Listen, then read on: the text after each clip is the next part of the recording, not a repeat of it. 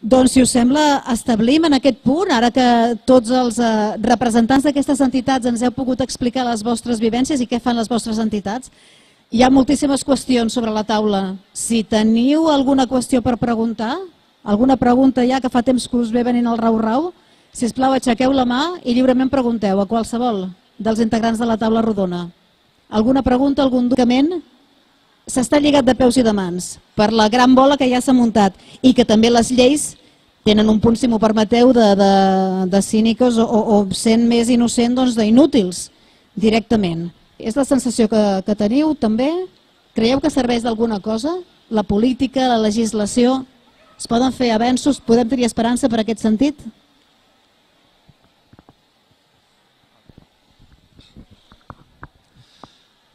Uh, deixo el tema d'armes per, per tu, si esperança en el tema d'armes.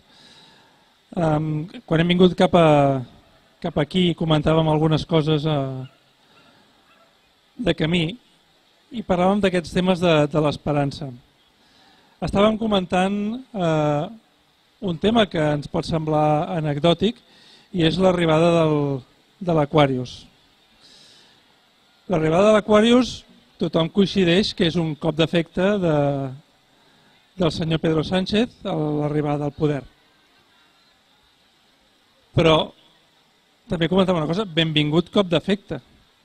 Si el cop d'efecte és que vingui l'Aquarius i no que traguem a 2.000 persones que, que les tornem als seus països, és que el govern ha entès que la ciutadania prefereix que vingui l'Aquarius que no que traguem fora 2.000 persones quan el govern està dient que no farà devolucions en calent, és que, eh, eh, eh, independentment de si les faci o no, el govern ha entès que la ciutadania vol una altra cosa.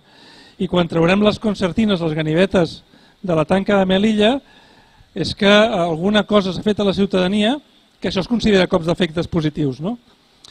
Per tant, i, i, i m'ho preguntava una altra persona, i ahir vam fer una manifestació Uh, ahir? No, abans d'ahir. abans d'ahir a Barcelona pel tema del Dia Mundial del Refugiat i eren molt poquets. De què serveix, ens preguntaven?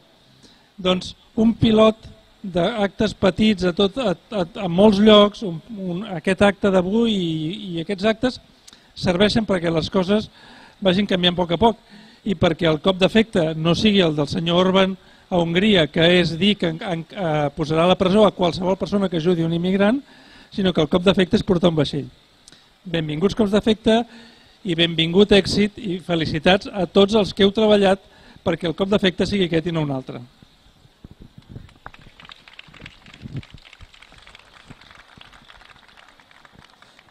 No voldria haver transmès amb la meva intervenció pessimisme sobre tots vosaltres. Simplement he descrit el que jo crec que és una situació molt greu que estem vivint avui en dia en el món. Eh, en un any, 3 milions més de refugiats. I per una causa que jo crec i estic convençut que és el militarisme en el qual s'apoya i necessita aquesta èlit que governa el món.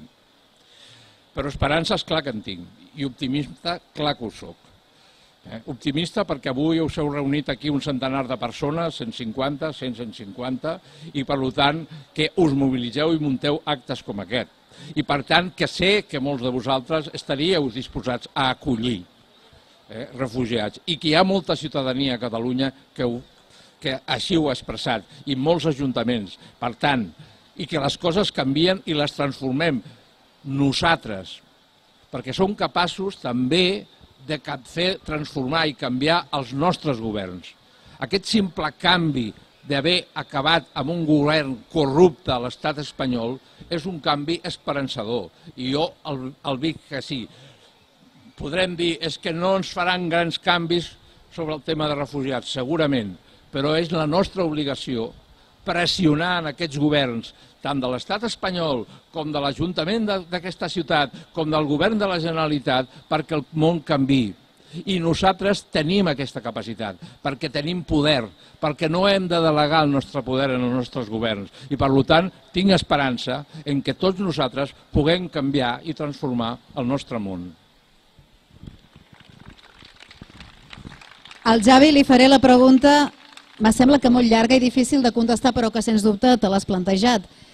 Quina és la responsabilitat, el grau de responsabilitat dels mitjans de comunicació amb aquests temes que estem vivint?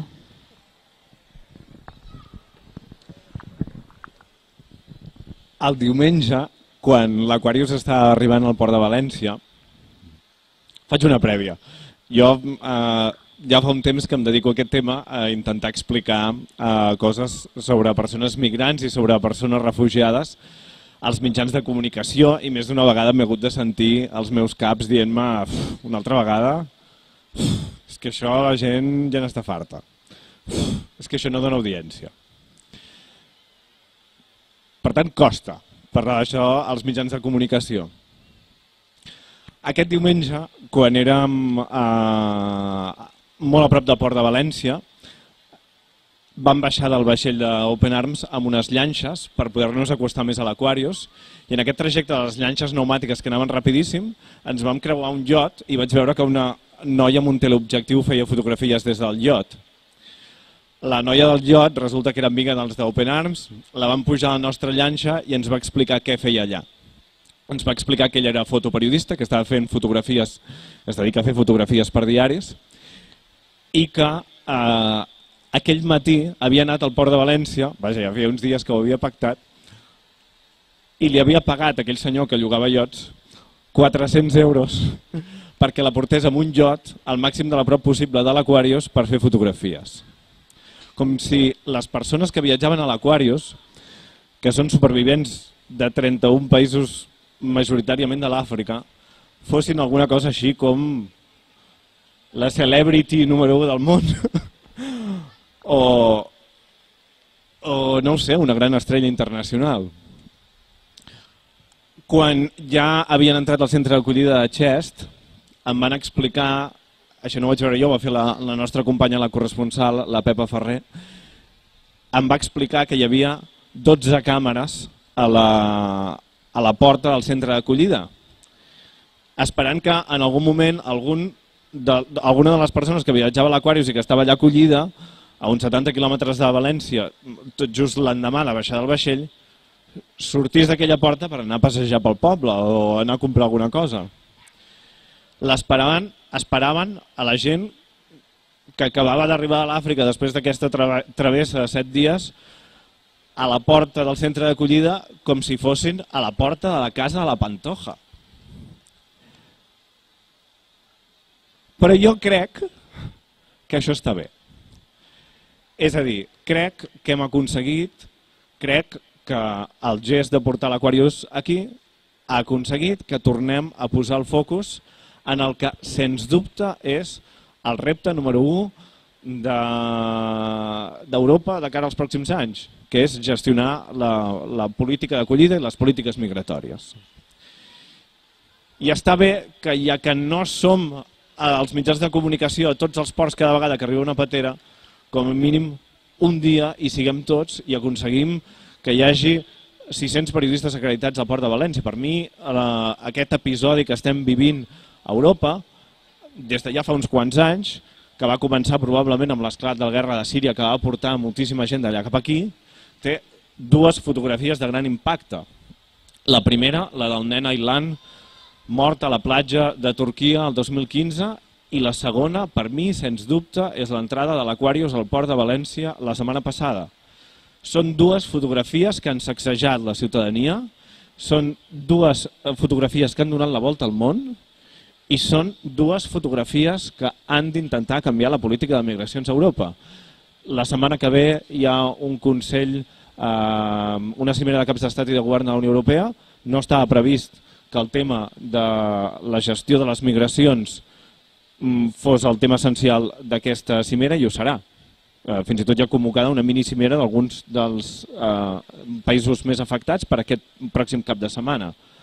La foto de l'Ailand del 2015 va fer que els països europeus es comprometessin a reubicar 170.000 refugiats que hi havia estancats a Grècia. Es van comprometre a fer-ho. Després, alguns, com el govern espanyol, ho van complir només en l'11%. Però ho hem d'afrontar, perquè és una situació que ve i que ve probablement per quedar-se durant molts anys. A Àfrica hi està havent un boom demogràfic enorme. Hi ha països africans on els menors de 25 anys representen el 60-65% de la població i les desigualtats persisteixen. Per tant, les migracions continuaran i hem de fer front i segurament hi hem de fer front d'una manera una mica més intel·ligent i una mica més, més humana de com ho estem fent. Per tant, afrontem-ho i, i espero que com a mínim aquests focus que hi hem posat a l'Aquarius en els mitjans de comunicació aquesta setmana serveixi per això. Moltes gràcies, Javi. Em diuen que hem d'anar acabant perquè encara hem de fer una petita actuació musical i després una concentració aquí. Però hi ha dues paraules demanades. Ràpidament, en tot cas, allí i allà al darrere, sí, us agrairia que us acostéssiu. Jo faré l'esforç també, perquè si no, no ho sentirem, que estem com a molt lluny. Hi ha un grup electrogen aquí al darrere, no sé si l'aneu anant sentint. Nosaltres sí. Aquí mateix, sí, digue'm. Vale, doncs, eh, eh, bueno, moltes felicitats per l'exposició que heu anat fent. No hi estic d'acord amb el que amb el que s'ha plantejat, o en part no estic d'acord amb el que s'ha plantejat en l'abordatge que se li ha donat al vaixell Aquarius. No? Crec que la vinguda de les persones refugiades mai s'ha d'enfocar des de l'espectacle. És vergonyós que s'hagi fet d'aquesta manera eh, i penso que és un dret humà, un dret de justícia i que no s'ha d'enfocar d'aquesta manera el tema del, de l'Aquarius, perquè realment eh, és, un, és, anem sempre a cop d'efecte. Posem damunt de la taula la situació de les persones refugiades a cop d'efecte i, i fent un autèntic espectacle. Almenys que no es faci en el nom d'alguna de les persones que crec que avui estem aquí. Només volia dir això. Ara, ara podeu passar a valorar aquesta opinió, si és que la voleu valorar. Eh, la segona pregunta o opinió? Bona tarda. Mira, jo volia fer dos mm, observacions. Una, que no heu parlat dels nens desapareguts dels camps que hi ha en aquesta Europa, que me sembla que el 2016 eren 10.000 nens i nenes que han de, dels camps, que van desaparèixer, no s'han trobat. No se'n parla gaire. I després d'una altra cosa, de totes les criatures que neixen a, a, sense pàtria, perquè resulta que neixen als camps de, mm, jo diria de concentració més que de refugiats, que hi ha per aquesta Europa, que, que és, quina sortida se'ls hi pot donar a aquestes persones que són apàtrides. És això només. Vinga, moltes gràcies. Eh? Gràcies per les vostres contribucions. Gràcies. Algú vol contestar, fer alguna valoració? No tenim la Teresa Ferrer, que, que precisament ha començat parlant d'aquest tema, ha hagut de marxar, però no sé si voleu enganxar els comentaris. Francesc. Dos, sí. Dos coses. Uh, és cert que va sortir fa, fa un temps una notícia de que havien desaparegut 10.000 10 nens. Uh,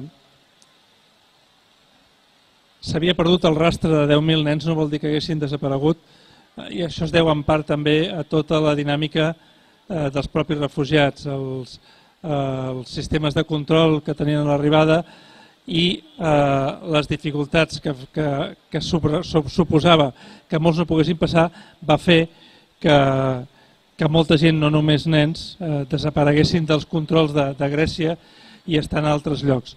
No, no s'ha objectivat un tràfic de nens d'una manera mm, de, de, amb aquest volum de, de 10.000 nens eh, i obeeix més a la manca d'acollida i a la manca de societat a l'hora d'acollir a les persones per, personalment. I eh, tot el tema dels infants que neixen, no, no només els infants que neixen, és tot el tractament que estem donant. Una de les primeres coses que exigim a Europa és que compleixi la llei. I la llei diu que qualsevol persona que diu que sóc un refugiat se li ha de fer un procés individual per saber si ho és. Si no ho és eh, segons la llei el faran fora i si ho és segons la llei es farà. La principal demanda que fem és que es faci aquest procés individual, cada persona i cada cas. I això és el que permetrà evitar drames com els que estan tenint en aquests moments eh, moltíssima gent a Itàlia, moltíssima gent a Grècia i fins i tot moltíssima gent que està arribant eh, amb, amb, amb embarcacions a casa nostra on aquest procés tampoc s'està fent correctament. Voleu afegir alguna qüestió ràpidament? No, sobre això de l'espectacle, eh, entenc, entenc perfectament el que dius sobre l'espectacle, ho, ho entenc perfectament. jo crec que, eh, jo quan parlava de l'abordatge des dels mitjans de comunicació, per mi, que treballo en un mitjà de comunicació generalista, eh, és molt important poder arribar al màxim de gent possible i em fa la sensació que a vegades determinats abordatges aconsegueixen arribar només a la població que ja està convençuda. I sé que a vegades eh, fan falta imatges d'impacte per arribar a, a un públic més ampli, per arribar a gent que probablement no està convençuda, gent que potser no, no havia centrat la seva atenció en aquesta situació. Recordo, per exemple, que quan hi va haver aquesta fotografia, la del nen Ailan el 2015, hi va haver també en el sector periodístic un debat enorme de si s'havia de publicar aquella fotografia o no. Al final era un nen mort i era duríssim. I hi havia molta, molta gent, eh, també dins de l'àmbit periodístic, que deia no, aquesta fotografia no s'hauria de publicar. Uh, i després penso que Proactiva Open Arms ha salvat 59.200 vides, em deien l'altre dia. 59.200 eh, persones han pujat als, als vaixells d'Open Arms en operacions de rescat en aquests últims dos anys.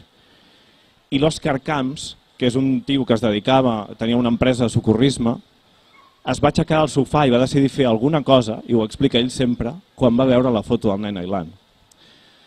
Per això a vegades penso que aquestes fotografies, aquestes, aquests gestos d'impacte, que a vegades és veritat, poden semblar un espectacle, aconsegueixen arribar a gent que potser no tenia consciència de fer coses i aconsegueixen que hi hagi gent que s'aixequi del sofà.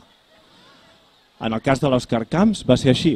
I probablement si aquella fotografia, la de el nen Ailan no s'hagués publicat el 2015, no tindríem una ONG de Badalona salvant vides al Mediterrani i mobilitzant tantíssima gent en aquests dos anys.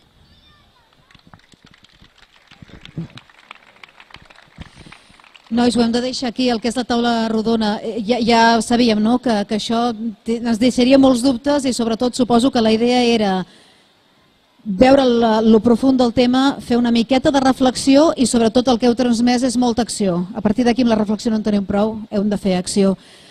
Nosaltres eh, anem tancant aquesta taula rodona, la propera acció que toca és escoltar música, posar música amb aquest eh, punt final